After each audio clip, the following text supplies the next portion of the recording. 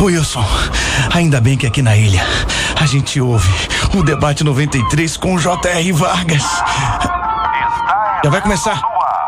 Wilson! Wilson! Alô, meu irmão! Alô! Wilson! Já vai começar o debate! Wilson! Está entrando no ar. Debate 93. Realização 93 FM. Apresentação J.R. Vargas. Alô, meu irmão! Alô, minha irmã! Aqui fala J.R. Vargas. Estamos de volta, começando aqui mais uma super edição do nosso debate 93 de hoje, nesta segunda-feira, dia 20 de outubro de 2014. Que a bênção do Senhor esteja aí sobre a sua vida, sobre a sua casa, sobre a sua família, sobre o seu trabalho, sobre a sua igreja. Que a bênção do Senhor esteja com você, onde quer que você vá, onde quer que você esteja. Receba o carinhoso abraço em nome de toda a nossa equipe que já está aqui a postos para te atender, para te receber, para te ouvir. Você liga, você fala com o Debate 93. Fale com o Debate 93. 2461-0093. E-mail debate arroba rádio 93.com.br. Facebook Rádio 93 FM. Site www.radio93.com.br. Olha ela aí, minha gente. Marcela Bastos, muito bom dia. Bom dia, JR. Bom dia aos nossos ouvintes nessa semana aí que a gente começa hoje aí, já no finalzinho de outubro. E minha pergunta para você é a seguinte: você conhece um casal aí em que um dos cônjuges é meio individualista, assim, egoísta, só pensa nele, não pensa no outro? Sua opinião é que um casamento pode resistir à falta de companheirismo, sim ou não? Quem vai ajudar a responder essas perguntas, como eu sempre digo, graças a Deus não somos nós, mas o pastor Paulo Azevedo, que é presidente da Convenção Batista Independente do Rio de Janeiro. Bom dia, Marcela. Bom dia, JR. Bom, dia, dia. debatedores. Tenho certeza que Deus vai operar maravilhosamente hoje nesse debate. O outro Paulo, só que é o pastor Paulo Lima, da Igreja Ministério Família Debaixo da Graça. Graça e paz, bom dia, J.R. Vargas, bom dia, Marcela, bom dia aqui os debatedores, bom dia os ouvintes. Com certeza Deus vai operar aqui as respostas para cada coração, para cada família. E ele que veio lá de Guapimirim, pastor César Melo, da Igreja Metodista Wesleyana em Guapimirim. Bom dia, Marcelo. Bom dia, JR. Bom, Bom dia, dia. amados queridos ouvintes desta belíssima rádio que nos tem dado grandes oportunidades. Com certeza, o que nós estaremos falando dentro de instantes vai abençoar e vai te beneficiar para nós entendermos sobre esse assunto importante do dia de hoje. E a nossa linda menina da mesa, a pastora Luciana Machado, da Igreja Batista Nova Filadélfia, do Grande Rio. Muito bom dia, Marcela. Bom dia, JR. Todos os ouvintes, debatedores. É uma honra estar aqui com vocês nesta manhã. Benção puríssima, essa é a nossa equipe aqui no nosso debate 93 de hoje, minha gente. Vamos juntos fazer um grande debate 93. Este é o Debate 93. com J.R. Vargas na 93 FM. Aí é que o nosso ouvinte diz o seguinte: olha, o ouvinte cita Amós, capítulo 3, versículo 3. Porventura andarão dois juntos se não houver entre eles acordo, se não estiverem de acordo. Mas e quando isso não acontece no casamento? É o destaque do pastor Paulo Lima. E ouvinte ainda diz: minha esposa é incapaz de sonhar e lutar comigo por uma vida melhor para a nossa família. É o destaque do pastor Paulo Azevedo. Embora ela possa ajudar financeiramente, ela escolhe mentir, dizendo que não tem dinheiro. Você conhece alguma esposa? Hein? Conhece algum marido? O homem tá com a grana, o homem tá com a. tá com boi na sombra, diz que tá no aperto. Conhece alguém assim ou não? Estou cansado de remar esse barco sozinho, diz aqui o ouvinte, o destaque do pastor César. Como se chega a esse acordo que a Bíblia diz? O que fazer quando um dos cônjuges vive de maneira individualista e egoísta? É o destaque da pastora Luciana. Um casamento pode resistir à falta de companheirismo? O que posso fazer para que essa história mude? Vo- Você ouve Debate 93 com J.R. Vargas. Muito bem, começamos então com o texto de Amós 3. Foi esse destaque que o senhor fez? Não, pastor, é isso que eu estou entendendo pelo seu olhar aí, eu tô. Enquanto eu anuncio aqui, eu tô olhando, tô vendo tudo. Não é esse o destaque, não, pastor Paulo Lima? É, aqui né, não foi É mais ou aqui, menos, É mais né? ou menos isso. É. Mas vamos trabalhar juntos. É, juntos, operar os juntos. Vamos abrir aqui para os quatro, os quatro companheiros aqui esse, esse, essa oportunidade de verbalizarem sobre esse assunto, queridos. O ouvinte traz um texto que é muito conhecido, repetido sobre este tema, aplicado eventualmente até em ocasiões eh, diferentes, mas eu queria ouvi-los sobre, sobre esse assunto. Quando um casal, ah, embora ande junto, né? Eles, eles não têm acordo. Na verdade, eles estão andando, até podem estar andando ao lado, mas não estão andando juntos. Mas e quando isso não acontece no casamento? Ou seja, quando não há entre eles o acordo que pensam os quatro companheiros sobre esse assunto? Podem começar, eu posso cantar. Bom, muito bem. Já fiz a introdução aqui, companheiros. Eu, Ah, eu, eu, JR, eu fiz umas pontuações aqui com relação Hum, a isso. pois não. Que eu acho muito interessante, né? Eu parabenizo até a produção por isso. Primeiro, eu gostaria até de ler em poucas linhas com relação a o que significa a questão do egoísmo. O egoísmo é o hábito ou atitude de uma pessoa colocar seus interesses, opiniões, desejos, necessidades em primeiro lugar, em detrimento ou não do ambiente das demais pessoas com que se relaciona. E, e por que o egoísmo é uma praga para o relacionamento? Porque ele é totalmente oposto ao significado de amar, que em resumo é doação. Amar é colocar a dedicação ao outro sempre antes do próprio interesse.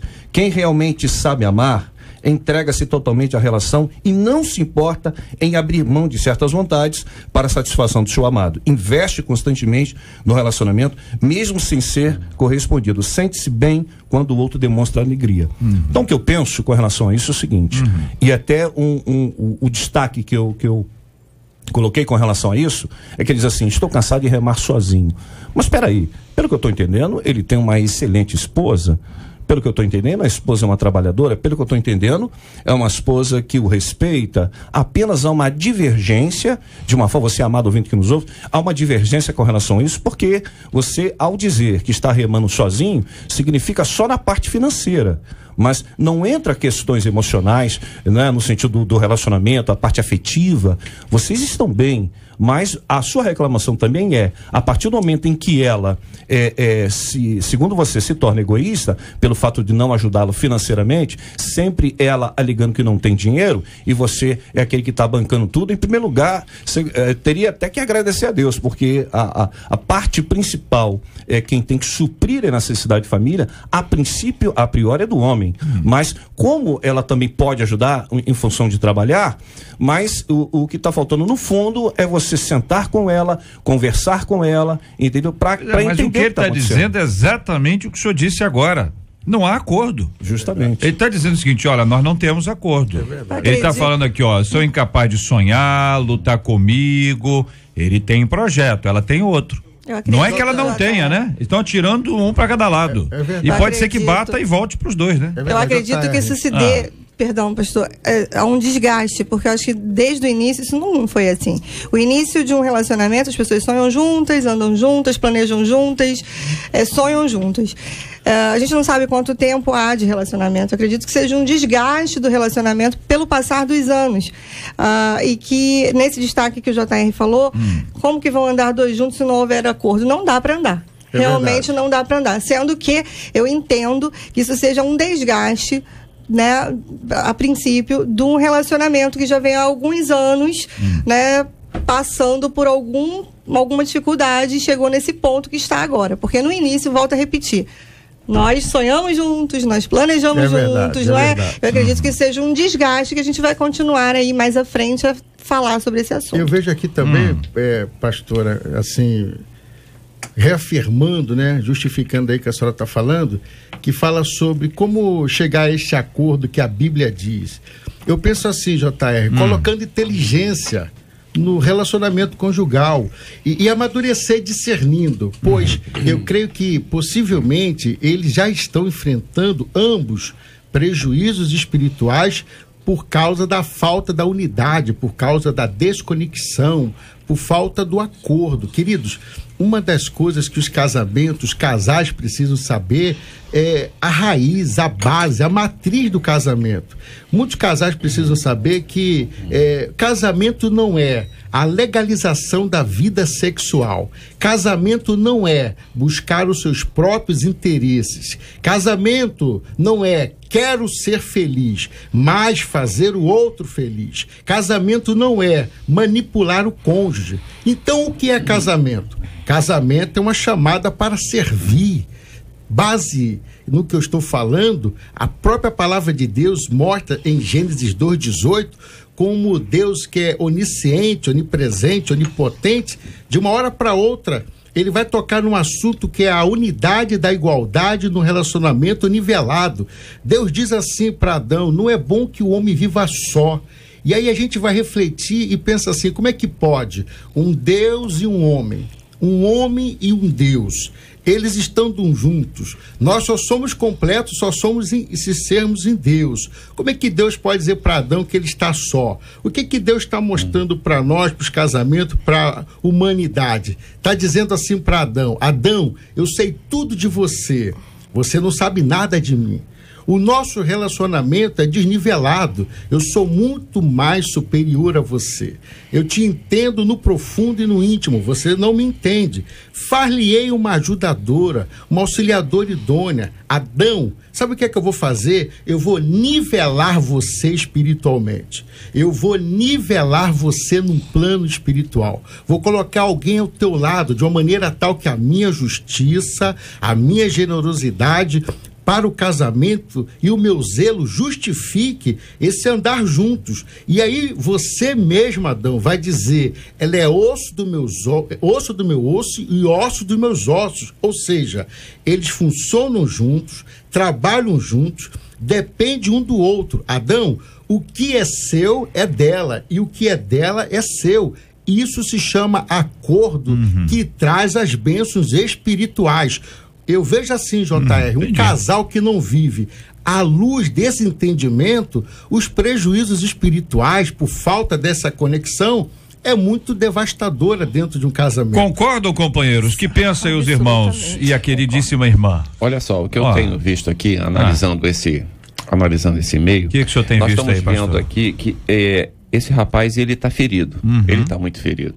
E o grande problema quando a pessoa está ferida, ela não pensa. A dificuldade é de pensar, chegar dói, a essa né? conclusão É é mais dói, difícil. né? Está É. doendo, está É. doendo muito, é difícil de pensar. É, todos os companheiros aqui foram muito felizes quando falaram que existe um histórico. Não começou dessa maneira, só que foi evoluindo. Só que a pessoa às vezes pega uma pequena gripe, ela não trata e continua não tratando, vira uma pneumonia, né? Nós estamos vendo que isso aí começou com um pequeno motivo, algum problema. Nós vemos as pessoas até que brincam muito aí, né? Que o meu, é, o nosso, o, o dinheiro dele é nosso, né? o dinheiro dele O seu é, meu, nosso, né? o meu é meu. É, e o, é mais ou menos isso, assim, né? Não é conhece, não conhece? Não. Né? Basicamente Ah. isso. Quando a, a, a mulher chega e fala assim, não, o dinheiro dele é nosso, o meu é meu, né? Então, quer dizer, basicamente isso. O meu é Mas a meu, gente o leva é na nosso. brincadeira.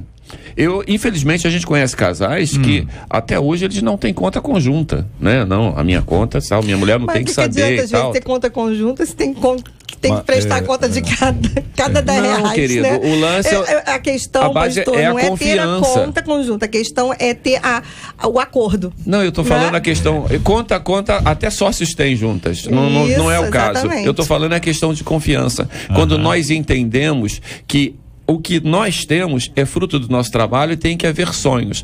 Agora, como é que se resolve isso? Acho que o pastor Paulo foi muito feliz no que ele disse. É quando a gente para, senta e procura ajuda. Né? Que há momentos que sozinho um casal não consegue resolver um problema. Precisa de uma terceira pessoa. E quando isso acontece, É, o, o ouvinte aqui, companheiros, ele, em suma, nessa parte de dinheiro, ele está dizendo assim: para onde vai o dinheiro dela? Entendeu? Para onde vai o dinheiro dela? E aí, só a Luciana para nos ajudar a responder esse assunto. Entendeu? Para onde vai? Porque o ouvinte, o, o nosso ouvinte, ele quando conta, ele diz: olha, nós temos um projeto, eles moram de aluguel. Certo? Eles moram de aluguel. Ele quer comprar um terreno para construir uma casa. Aí ele tem o dinheiro dele, e se ela entrasse com o dinheiro dela, tô do lado dele agora, tá? Direi do lado dele agora, hein? Tá, tá, se, ele precisa do dinheiro dela, porque é meu, é seu, é, meu, é nosso, né? Aquela frase toda. Juntando os dois, dá para construir. E ela diz que não tem dinheiro. Aí ele pergunta: para onde tá indo esse dinheiro? Isso, essa não é uma dúvida. Quem tem essa dúvida tem uma certeza. Mas eu até fico pensando o seguinte: o que falta então nela? Falta o que? Estímulo? Falta o que? Visão? Porque se ele alega que o sonho dela não é o dele, então, ou melhor, o sonho dele não é o dela, então é, é, o que precisa ser investigado é o seguinte: é uma ajuda. E ambos são cristãos, então o pastor pode ser um mediador, um facilitador, para ajudá-los nesse entendimento. Alguém tem que abrir mão. Agora, eu vou contrastar uma coisa aqui, me perdoe. Mas por que que necessariamente o sonho dela tem que ser o sonho dele. Uhum. No sentido de construir juntos, né? uh, uh, digamos que você deu um exemplo muito interessante, os dois somam as vendas, digamos, Não, não, é uma fato, casa. é fato. Sim, É, é, tá, fato. tá- ok, tá no e-mail todo, tá Correto. no conjunto do e-mail. Então, tem duas vai- filhas, tem uma filha adolescente, uma Sim. filha pequenininha, moram de aluguel, pensam em comprar o te- terreno. Sim. Isso está na cabeça de- Ok. da maioria das pessoas, Tá né? na cabeça dele, ok. Aham. Mas só que o, o, o porquê que ela não quer, a investigação é a pergunta é essa. O porquê que ela não quer? É quando ela faz a pergunta. A Há forma- perguntas que não são perguntas. Justamente. São justamente, afirmações. justamente. Só que tem uma interrogação no final. O que, Subentende, que ela está fazendo com o dinheiro? Sim. subentende que o salário dela, o dinheiro dela, ajudaria em muito esse casal. Exato, é o que Sendo ele que, diz. ela diz que não tem dinheiro. Se É o marido verdade. não está vendo para onde o dinheiro vai, se ela compra muita bolsa, Ó, muita roupa. Hum. muito sapato, se ela gasta muito com Ó o muito, estímulo muito dela que eu tô falando aí. cabeleireiro, Ó o estímulo com, dela. com unha, Tá na roupa? não sei. Mas ele não sabe. Ah, Ou se ele não.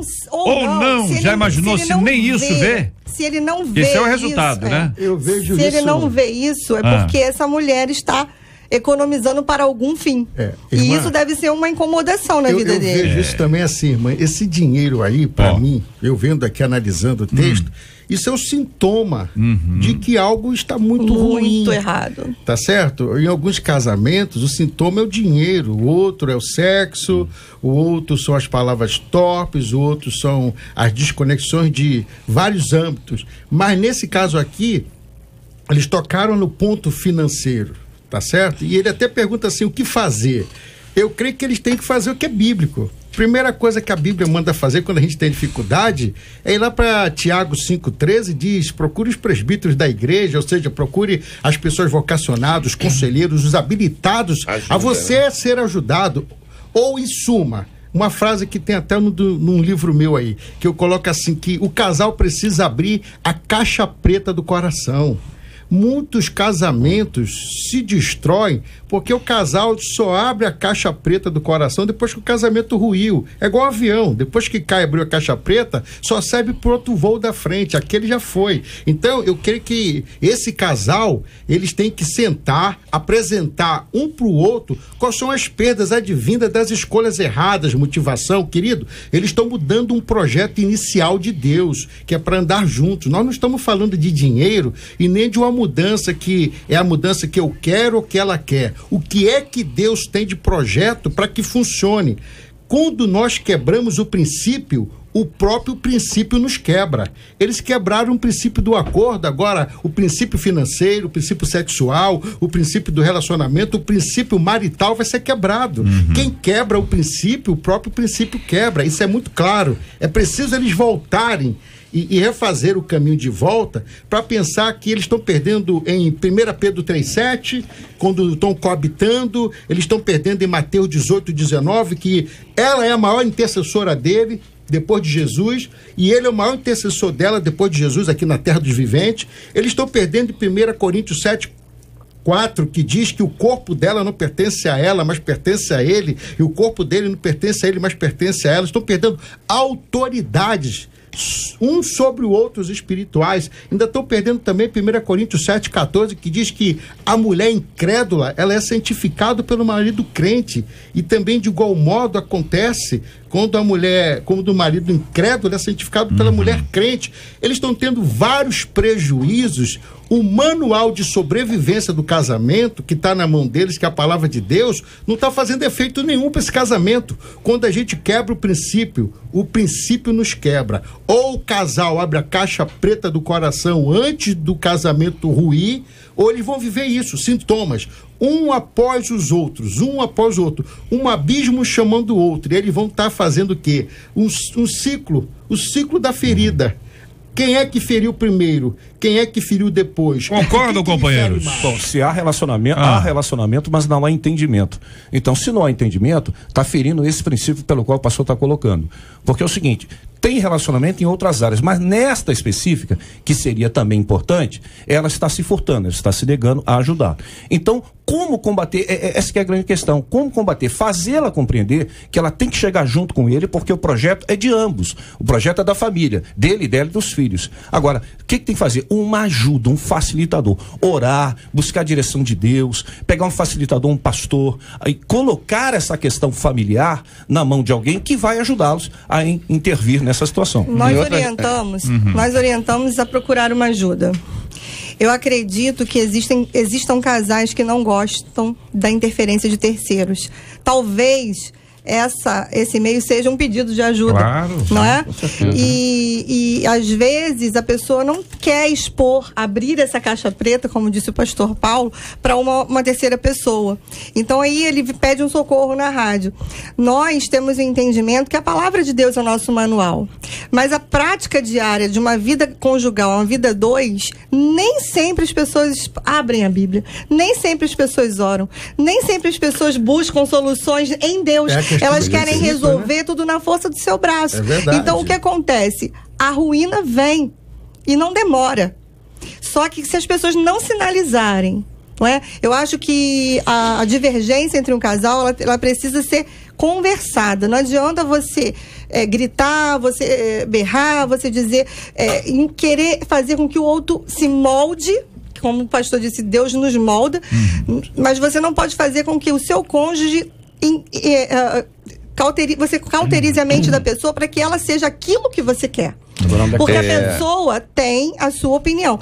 Numa boa conversa, num momento propício, talvez haja um acordo. Mas se a pessoa fala, fala, poxa, mas você nunca tem dinheiro, você nunca, nunca tem dinheiro, nunca você pode ajudar, isso e aquilo, aquilo vai causando mais, um, mais que um bloqueio do que uma, verdade. do que uma, ah, uma conversa. Então, eu entendo. Em vez de ajudar, que- atrapalha, né? Na Exatamente. sequência disso. Exatamente. Aham. Eu entendo que Bíblia é o que nós devemos ter, que devemos né, usar, aconselhamento sim, mas também olho no olho com amor. É verdade. Porque com amor, um homem consegue tudo de uma mulher. E com amor, uma mulher consegue tudo do seu Exatamente. parceiro. Porque se for a ferro e fogo, eu quero que seja assim, você precisa, você tem, não vai haver acordo mesmo. Vai Talvez seja a forma continuar com que se a fala, né? A forma com que se está É. tentando. Exatamente. Eu- Algumas o que- pessoas querem ser o Espírito Santo na vida do cônjuge. Olha, nós não somos Espírito Santo. Nós temos o Espírito Santo. Então, a É, gente nosso, a nosso ouvinte aqui, isso. no, o nosso ouvinte nos diz, embora ela possa ajudar financeiramente, é, escolhe mentir dizendo que não tem din-din, tá certo? É o, O- que, é o que ele diz que ela diz. É o entendimento dele sobre a ausência de colaboração dela. Vocês disseram, ela pode não colaborar porque está investindo. Investindo nela. Vocês disseram que ela pode estar investindo em outra coisa. Pode ser que ela esteja até economizando, porque ela pode ter outro plano. Ou pode ser que o dinheiro dela tenha acabado mesmo. É verdade. Pode ser que ela esteja dura igual um coco, entendeu? Então ela não tem Por condições vergonha- de construir. Por vergonha, Não não, é? expôs ao marido Fica que se com enrolou, vergonha e tal, que fez enfim. empréstimos, É. que paga juros, não é? Enfim. Às vezes a, a própria esposa não tem De uma é, forma ou de outra, expor ela esses tem, assuntos. pode ter razão, ele também pode ter razão e pasmem, ambos podem estar errados. Justamente. Exatamente. Eu estava pensando Já- exatamente o Não é seguinte: isso? se, se ele, é, é, ele não sabe para onde vai o dinheiro dela, se ele é o cônjuge, ué, então tem alguma coisa que não está batendo bem. é, mas até, Mas até se que ponto, sabe- companheiro, vamos lá, até que ponto, vamos, vamos abrir o jogo, vamos abrir o jogo aqui mesmo. Até que ponto ah, o marido tem direito e a esposa tem direito de saber tudo da questão financeira. A partir do Como é que momento- funciona isso assim? Tô, tô dizendo isso para os irmãos, se na prática, Ah, é pensando o seguinte, na, na, na dinâmica da nossa vida, na peculiaridade de cada ser humano. O pastor Paulo falou de cara, tem que ter conta conjunta. Tá certo? Foi a primeira coisa que ele falou aqui. Como é que o marido e a mulher não têm conta conjunta? Quer dizer, para o pastor Paulo ficou claro. Já vi que a Luciana pensa diferente. Ou seja, nós temos aqui à mesa duas pessoas maravilhosas, mas que podem discordar nesse assunto. Ou seja, existe uma regra? Se tem conta conjunta, o problema está resolvido. Se não tem, o problema está resolvido, ou ambos podem estar errados. JR, olha só, eu vejo Paulo, nessa, né, vejo nessa questão aqui que acho que o me- menor problema desse casal é a parte financeira. Não, pois é, embora Paulo, mas- seja mas batida. vamos- vamos entrar nisso aqui só vamos poder explicar, é. Nessa situação aqui. O que eu vejo é o seguinte: quando a gente fala em casamento, toda essa parte bonita que foi falada aqui, que é bíblica e que nós cremos nela plenamente, nós falamos em confiança. Quando a gente fala em confiança, fala em tudo. Por exemplo, particularmente, acho que eu sou o mais novo aqui de casado aqui entre vocês. é, nós temos uma política que é o seguinte: toda a nossa vida financeira é aberta, tanto da minha esposa quanto a minha. Ela sabe todos os meus gastos, eu sei todos os gastos dela. Nós cooperamos em tudo, nós procuramos fazer esse plano e está dando certo há 35 anos. Mas só que é o seguinte: é, o que eu vejo aqui é o seguinte: quando existe alguma coisa a esconder, o casamento está tendo problemas. Com Porque certeza. se eu preciso esconder que eu tenho uma dívida ou que eu tenho alguma coisa do meu cônjuge, é outra O situação. não acha que se precisa perguntar, já não é um sintoma de que alguma coisa não está tá boa? coisa Justamente. errada. Você tem que perguntar. também, pastor, é, casais Ah. que um é equilibrado e o outro não é. Ih, é verdade. Pastor, Então, como que um, por exemplo, Hum. vamos dizer, o pastor Paulo ganha um salário seis vezes maior que o da esposa. Uhum. Só que a esposa dele é desequilibrada. Uhum. E eles têm uma conta conjunta, ele vai, sof- vai poder, vai acabar é. indo a, Não, a, ruína. A conta é uma coisa, tem que saber se ela vai ter o Não, cartão. Não, não, não. É, Não, assim, o que eu quero dizer é o seguinte, é que ter uma conta conjunta é, é- pode funcionar. Mas existe sempre essa questão do que é seu, do que é meu, qual é a minha prioridade, qual é a sua prioridade. Talvez a minha Mas tá faltando prioridade seja entendimento uma. nesse casal. Exatamente. Eu, eu Tá vejo faltando assim, entendimento. pastora, casamento é uma construção, construção é uma sociedade, toda sociedade tem que ter prestação de contas. Prestação Isso, de claro, contas, eu sim. também Paulo- creio nisso. Eu creio assim, a mulher edifica a alma do Sim. marido e o homem governa. Agora, construção... Hoje é dia 30, vamos aqui para a prestação de contas. Cadê o seu relatório? Não, não, não, Quero aqui a sua planilha disso. aqui. Olha só, não seus é essa custos? prestação de Não, não, Olha, você- você gastou Tem que ter. 500 Mas peraí, reais tem no que ter. cabeleireiro. Não, isso. Toca no celular, gente. Esqueceram que toca no celular quando tem um saque lá, avisa, quando paga alguma coisa? Mas tem, mas tem uma pergunta nisso aí. Ah. Apesar de tudo, de contrato, de, de, de conta conjunta ou não, aqui paira a seguinte pergunta. Apesar de tudo isso, casados, etc., cônjuge, muito bem, eu pergunto, será que isso elimina a individualidade um do outro? Não, de é claro jeito que não. nenhum. Claro que não. A particularidade não, um do outro, ela, ela permanece. É, é- é isso que muitas vezes as pessoas não entendem. Apesar de ser casado, dá a entender que é- virou uma espécie de clone. Então, tudo que você faz tintim por tintim não é assim. Olha aí. O ser humano, ele é individual, independente de estar casado ou não. Indivíduo Ele é tem- não ele tem- divisível. ele tem a sua individualidade específica. Então, não adianta. Existem certos pensamentos que ele vai ter que ela não vai ter. Vai. Certos sonhos que ele vai ter, ela não vai, Vai ter. divergir. A divergência existe e ela é salutar. Ela não é algo ruim, malévolo, não é. Mas, pelo que ele coloca ali, o que dá a entender é um jeitinho de conversar, um- um- falar sobre sonhos e tudo mais. Mesmo que ele tenha falado, talvez ele não- ainda não, não colocou o interlocutor. Se ele falou ou ele impôs Agora, o sonho aí- dele? Ou Exatamente. então ele falou e ela não quis, gente. Ué. É. A individualidade, ela permanece, a privacidade existe, ué. É, mas a, a- a coisa passa a ser é, prejudicial, passa a ser é, é, venenosa dentro de um casamento quando um cônjuge acha que ele tem direitos sobre toda a outra pessoa. Olha aí. que é ela assim. não tem o direito Não de é assim. pensar Não, não. diferente dele. Olha. Que ela não pode fazer nada diferente da- do pensamento dele. O ouvinte tá, ma- mandou uma mensagem pra, pra, pra gente, mora no Jardim Paraíso e está com problema. Você imagina, se mora no Paraíso e está com problema, imagina os outros, né? Passei por isso, eu queria abrir meu próprio negócio e ele queria tirar a habilitação. Ô, gente, aí, hein? Meu valor? Cara, essa habilitação, hein? Eu sabia que ele estava juntando dinheiro para a habilitação. Quanto custa a habilitação? Ele pode estar Mil e tirando poucos é, reais. piloto de Quanto? avião. Mil e poucos reais. Mil e poucos reais? É, mil e quinhentos, tá. Não, para autoescola toda, para esse negócio de Sim, escola sim, sim, sim, toda. Ué, esse negócio então tá barato. O negócio tá barato, na habilitação tá caro, o negócio tá barato. Bom, eu sabia que ele estava juntando dinheiro para a habilitação e não me ajudava. Eu já tinha deixado o trabalho pela família, até que um dia ele disse que abriria a mão do sonho dele por mim, olha aí. E abriu uma lojinha de açaí para mim. E agora estamos juntando dinheiro para ele tirar a habilitação dele. Pô, bem, pensaram, foram, foram na lógica. Alguém aumentaram a fonte, é, trabalharam o quê? Perfeito, A correto. despesa ou a fonte? Foram na fonte. Aumentaram a fonte, vai ter dinheiro para despesa. Outro ouvinte dizendo, JR, minha mãe é assim, viu? Meu pai luta há 20 anos para nos dar uma melhor condição de vida. Mas minha mãe só pensa em gastar no shopping. Olha aí. Deve ser Hoje a é do única. comércio, deve ser é a única pessoa. E quanto a isso, meu pai trabalha às vezes de domingo a domingo para nos dar o melhor. Já tentamos conversar com ela, mas ela não entende. Meu pai era cristão e ela não. Ela acabou afastando meu pai da igreja, pois não concordava que ele desse o dízimo. Olha bem, rapaz. O moleque queimava o dinheiro no shopping lá. Hein, companheiro? Se fosse na Jota, lojinha de açaí, eu ia até ficar feliz, que o nosso ouvinte ali ia ser é. Eu abençoado. acho que os casais poderiam fazer assim, Ah. assim, uma oração que foi muito ensinada por Jesus. Ele deixou registrado aqui em Mateus 6, de 9 em diante, dizendo assim: ó, Pai nosso, pão nosso, casa nossa, casamento nosso, conta nossa, filhos nossos, dívidas nossa, relacionamento nosso, ato sexual nosso. O detalhe é que as pessoas esquecem o nosso e ela fica assim: olha, Deus meu, minha casa, meu salário, meu filho, pegue meu carro para sair. Elas esqueceram que Jesus, inclusive na própria eh, maneira de nós orarmos, eh, por exemplo, todos vocês que estão aqui, eh, irmãos nosso, do nosso Pai.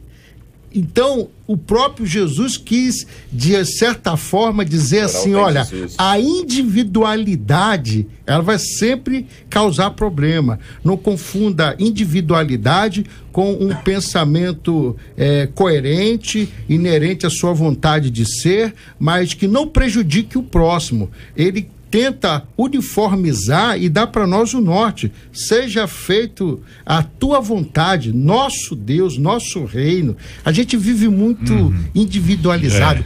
Plural tá Colocamos Jesus. é, territórios na casa, a casa fica cheia de muro, né? Tem o muro do banheiro para a sala, da sala para o quarto, fica toda assim, é, regiões, né? Cheio de, geograficamente, a casa toda dividida. E a coisa tá tão ruim lá na casa do nosso irmão, que ele ainda diz assim, pode resistir um casamento à falta do companheirismo?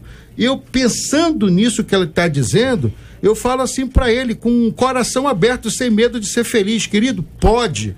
Sabe por quê? O texto baseado nesse bate-papo aqui nosso hoje está em cima de Amós, que Amós quer dizer aquele que carrega o fardo. E Jesus também, olha, outro exemplo categórico para nós, em Lucas 9, 23, disse que quem quiser seguir a Jesus, sabe, diz assim, ó, se alguém quiser vir após mim, a si mesmo se negue, dia a dia, tome a sua cruz e siga-me. As pessoas estão esquecendo disso. Todos nós estamos entrando no casamento para viver o amor romântico, que é o amor filéu, que é o amor familiar, o amor eros, que é o amor sexual, o amor ágape, que é o amor de Deus, que é muito lindo, que está escrito até lá em Cantares de Salomão, quem quiser ler em casa, pode ler à vontade. O casamento não é só o amor romântico, mas tem o amor sacrificial de 1 Coríntios 13, de 1 a 13. E sabe o que está escrito lá no versículo 8? O amor jamais acaba. Eu creio que os casais precisam um amar mais aos outros, porque olha só, Ó. ainda que ela tenha câncer, Olha aí. ainda que ele fique impotente, ainda que eu não tenha dinheiro, ainda que eu vá à falência, ainda que, ainda que. Ainda que ela tudo gaste só- tudo.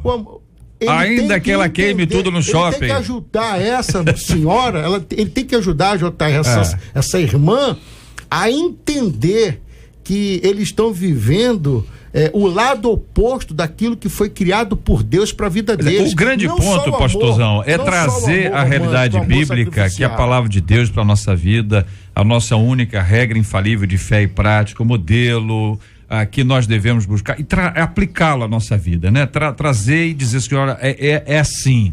Como, por exemplo, o ouvinte di- diz aqui, gente, ó, ele paga as contas, eu compro as coisas de casa.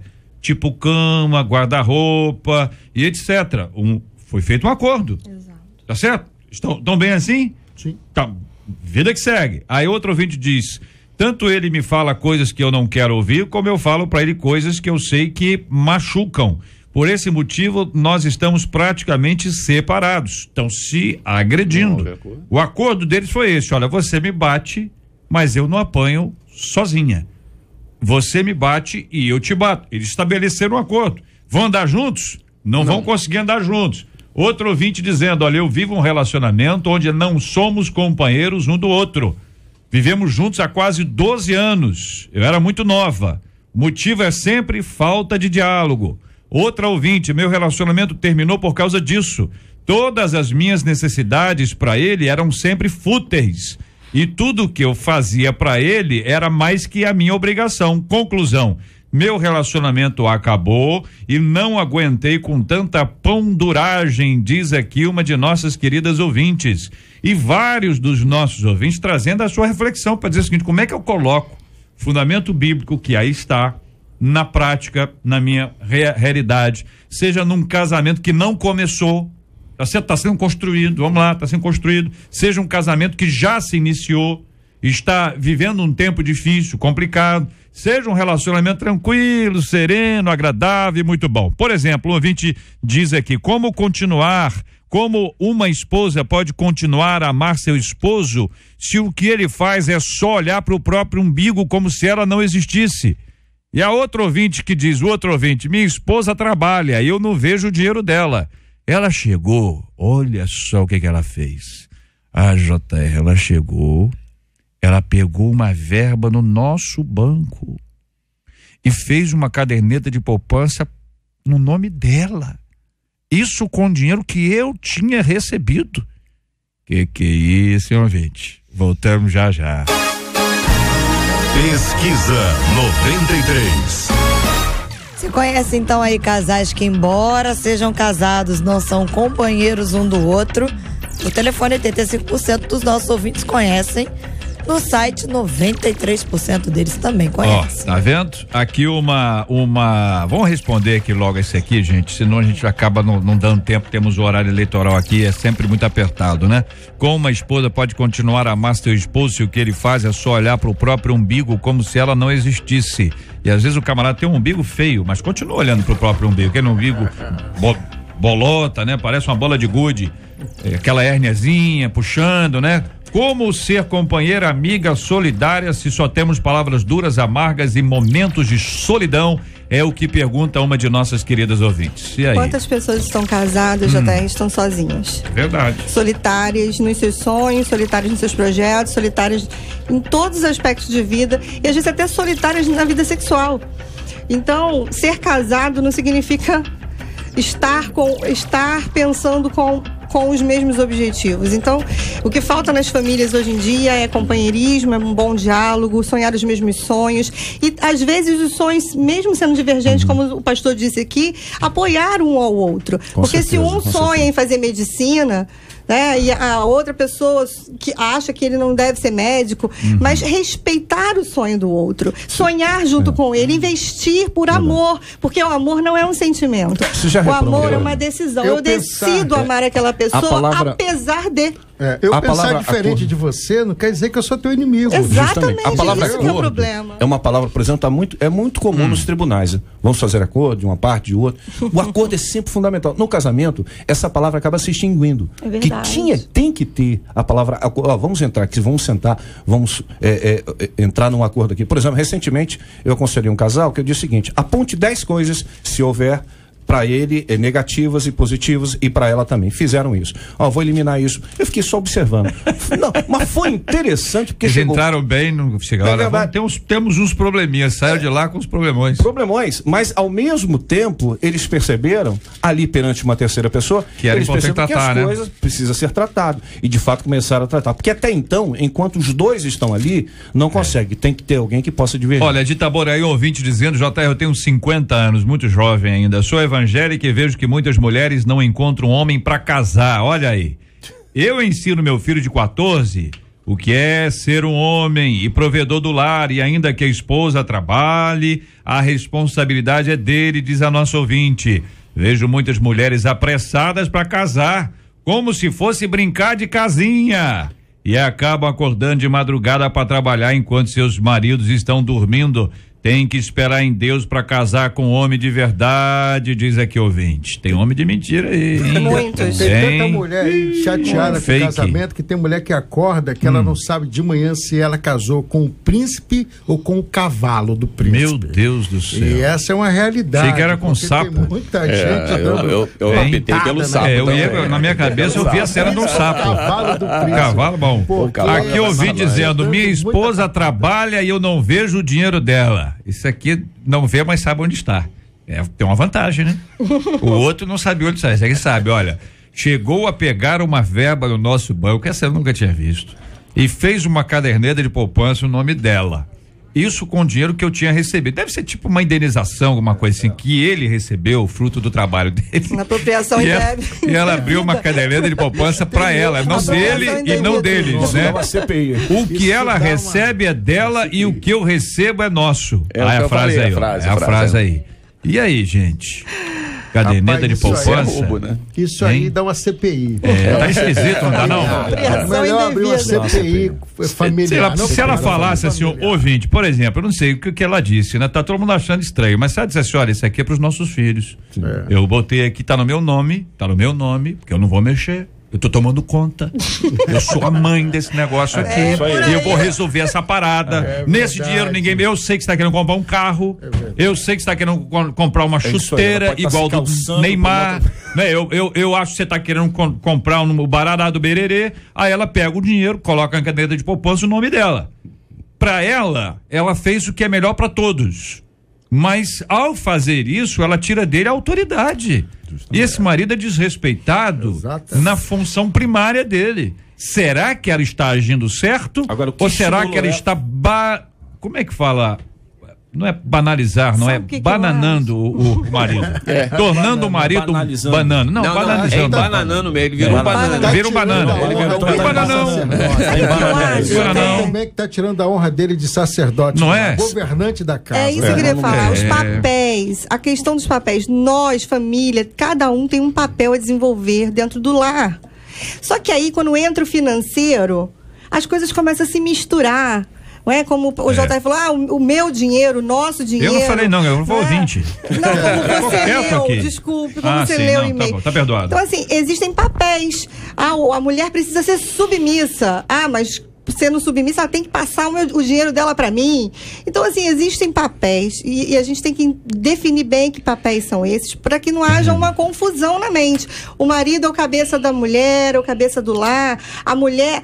É, é, a, a outra ouvinte disse que ela ensina ao filho que, mesmo que a mulher dele trabalha, a obrigação é dele. Como que isso funciona na sociedade pós-moderna? Então, assim, como a gente. Cada família é um mundo. Talvez na família do pastor aqui à minha frente, o ideal seja a conta conjunta. Talvez na família do pastor aqui ao meu lado, cada um tem a sua conta. isso- por isso que a gente então, entra assim, a gente questão. não pode também dizer que as- é- é- tem uma receita, uma bula. Gente, é olha só, dinâmico, olha- gente. Exatamente. Por E as pessoas da mudam. Questão- O As que pessoas vale mudam. a pena É. é, o acordo. A É particularidade. o que se conversa, É. olho no olho. Justamente que a pastora está falando. A particularidade de cada um, eh, eh, gente, eh, somos casados, amém, glória a Deus, estamos juntos. Mas existe um viés de particularidade de cada um. Tá certo? Por exemplo, essa senhora que mandou esse e-mail agora dizendo que se apropriou a falta de respeito do do marido e deve ter recebido uma determinada indenização, ela foi e colocou no nome dela uma poupança. Ok, mas o que estimulou ela a fazer isso? A investigação é ambos chegam. É, ué. com certeza já falando, aventou, pode ser cara. que ele tenha, Sim. que, entendeu? Ele seja um sujeito assim, é um gastão, gastão. Mas, pode, pode ser eu- que não, mas de um que- jeito ou de é, outro, né? Eu acho que o é básico de tudo, isso é quem É. tem que ver, é o seguinte, gente. A gente está batendo tudo voltando na mesma palavra, é diálogo. Porque quando a gente É chega e é conversa, diálogo, diálogo. a gente chega e conversa, dá tudo certo. Ouvinte dizendo, eu e minha esposa juntamos todas as nossas finanças, aí o que, que eles fazem? Juntam tudo, primeiro eles fazem isso. Aí ele diz aqui, pagamos as contas, primeira coisa. Segunda coisa, dividimos uma certa quantia igualmente para comprarmos o que cada um qui- quiser. Ela faz unha, cabelo, compra as suas coisas e eu compro o que eu quero. Inclusive, juntamos o nosso dízimo e entregamos juntos. Assim, Deus tem nos abençoado e nos prosperado. Ele termina dizendo: somos é um acordo. só. Um acordo. Só que, Gente, eu vejo só que aí eu acho assim. que a porção da mulher tinha que ser maior, porque a mulher faz cabelo toda semana, unha toda Olha semana, hidratação, Eu- eu- pintura. Abençoa a Acho que Cris. a porção da mulher tinha que ser maior. Casal pouquinho. tava Já indo o bem. problema, tava Casal bem. estava em paz até agora. Nesse momento diante começou. Assim. Ela tem razão. Nisso que nós estamos falando aqui, o- Só pra quebrar um pouco o gelo. O norte, o norte, o nosso norte é o manual daqui, a Bíblia. Ó, se a gente for ver um texto bem legal, interessante, até para avisar sobre acordo aos casais, em Gênesis 2:24 diz que o homem deixa seu pai e sua mãe e aí ele se une à sua mulher, os dois serão um. Mas aí Só a gente- há uma única outra versão dessa na Bíblia, em João 10:30, onde Jesus diz aqui em João 10:30, eu, e o Pai somos um. Acordo. Acordo. Tá falando no casamento e depois ele com o próprio pai ele diz temos acordo, temos coinonia, temos unidade. Uhum. Olha aqui, ó. Estamos vivendo a unidade. Nós estamos falando aqui nesse aspecto, né? O nosso ouvinte, uma de nossos ouvintes aqui diz o seguinte: que ela, é- ela e o esposo, a conta é no nome dela, tá certo? Ele coloca o dinheiro na conta dela e ela diz que ele gasta com prostituição, gosta de sair sozinho, entendeu? E ela diz: Eu sempre sonhei em ter um casamento abençoado. Para ela, o abençoado não é ter a mesma conta. Para ela, o abençoado É é, eles terem respeito.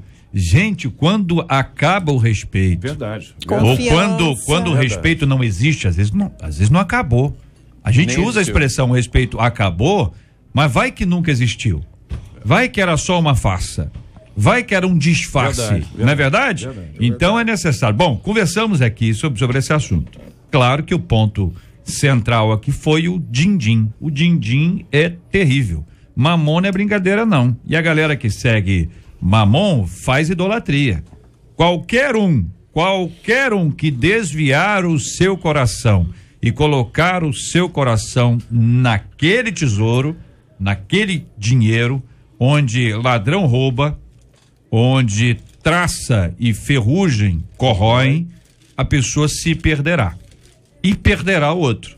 Quando se trabalha este processo de relacionamento que aqui está, vê-se quanto é importante o diálogo e o fundamento na palavra do nosso Deus e Pai.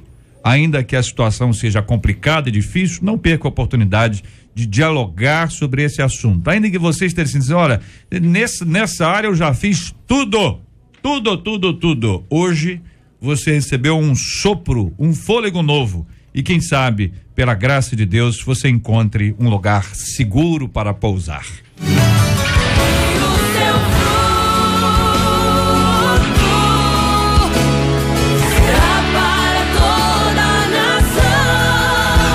Vem com a 93. Pesquisa 93. Perguntamos aí aos nossos ouvintes se eles conhecem casais que, embora sejam casados, não são companheiros um do outro. A gente termina com 94% deles afirmando que conhecem. Já tá aí rapidinho antes de chegar aqui o horário eleitoral.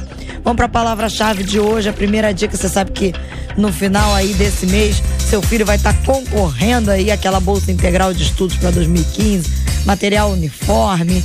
Enfim, diariamente a gente está sorteando aquele carrinho com controle remoto que tem rádio, entrada USB. Primeiro versículo da Esse palavra. carrinho anda? Não. Ele é um rádio, no formato de um carrinho. Já te falei isso? eu já te contei. É que eu tô inconformado ainda com o carrinho que não anda. É porque, na verdade, carrinho ele é um tem que andar. E, eu vou, mudar aqui. Na é quando verdade, você nós fala que é um carrinho com controle remoto, em eu fico lembrando do carrinho, fico É desejando. eu não tive rádio. isso, eu que de- desejo isso. Ai, meu Deus, nós vamos comprar um carrinho Ah, pra você. e aí o negócio de escola é onde é que é? Onde é que é a escola? A escola É. é, o. Que é qualquer escola ou é o uma escola? Futuro VIP de Nova Iguaçu. Então, pra quem mora na região de Nova Iguaçu, Baixada, galera Baixada, que Se a maravilhosa. pessoa quiser levar Não, um filho pra claro. pra ganhar integral o ano inteiro, gasta só com. Ah, condução. passagem. É, passar o dia indo Ué. e o dia voltando. Falta um dia. Aí depende de cada um, entendeu? Não, mas vamos lá, não tá certíssimo. É na Baixada, é Nova Iguaçu, isso para poder encorajar os nossos ouvintes de toda essa região, a Região a participarem, participar com a porque é uma promoção extraordinária, é um ano inteiro.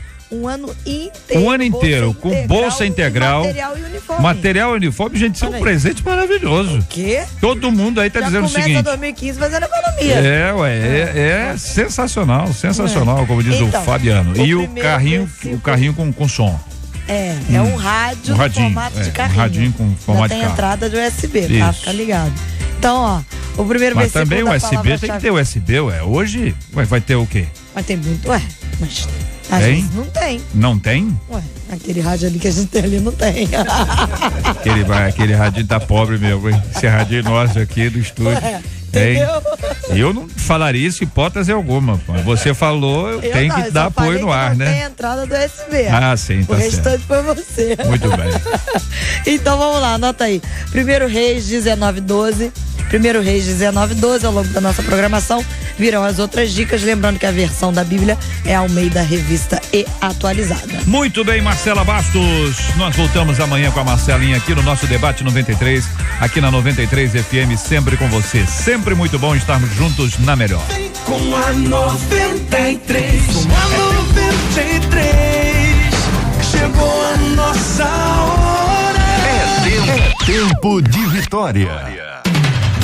Estamos juntos no Debate 93. Ouvinte dizendo, a Bíblia conta que Jesus foi conduzido ao deserto pelo Espírito de Deus para ser tentado pelo diabo. Lá mesmo estando com sua carne fraca pelo jejum, ele não cedeu. Quando a tentação começa a ser pecado na nossa vida, hein? Existe diferença entre tentação e provação? Como saber discernir entre uma e outra? Porque dizem que Deus prova aquele que ama. Qual o intuito de Deus ao provar seus filhos? Por outro lado, porque Deus permite que nós sejamos tentados, hein? É realmente necessário passar por tentações? O que fazer para ser aprovado e resistir às tentações?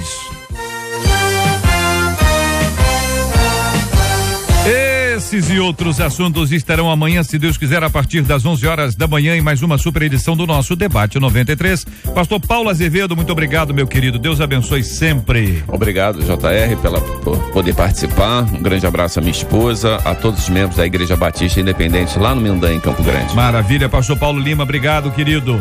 Eu é que agradeço em nome do Ministério Família Debaixo da Graça, do nosso pastor presidente. Quero dizer muito obrigado, amém. Que Deus possa prosperar cada vez mais a sua vida, a vida da rádio, aqui dos diretores, Sim. e que a bênção de Deus esteja sobre este lugar e a mão do Pai sobre todos nós, em nome de Jesus. Amém. Luciana, pastora Luciana, obrigado.